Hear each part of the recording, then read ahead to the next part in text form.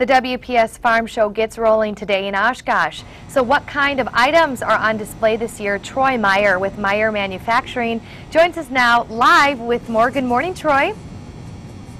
Good morning, Emily. Tell me where you're located and where people can find you. What hangar are you in? We are in the A hangar. It's the place to be. It is the place to be, Troy. Well, tell us what you're going to be um, featuring at the WPS Farm Show. Well, Meyer Manufacturing uh, basically produces two main product lines, forage boxes of all shapes and sizes, as well as a full line of manure spreaders. And so uh, all shapes and varieties from small to large. Well, Troy, go into detail of some of these pieces of equipment that you have next to you.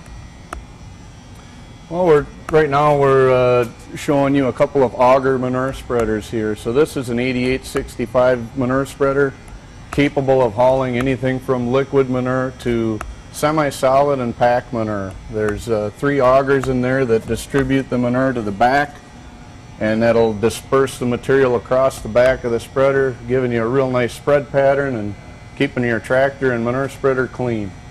Now this year, I mean, the show has been going strong for so many years, Troy. What do you really want farmers to know when they're coming out, taking a look at the equipment? What do you want them to know from the show? Well, you know, we're really here to uh, support our existing customers, uh, be there to answer their questions, as well as to uh, show them what's new in our product lines. And we try to feature some of our uh, new products, maybe new options that these customers haven't seen before. Uh, we're coming into season here for the forage season in just a few months.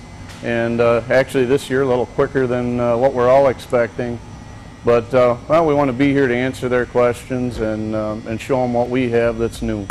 Well, Troy, we're so thankful that you joined us on the show this morning. You have to go out there and check out Troy Meyer. He's out at the WPS Farm Show. We have our hats this morning too. Pete and I have our WPS Farm hats, Troy. So we'll be having those all morning. So thank you so much for being with us.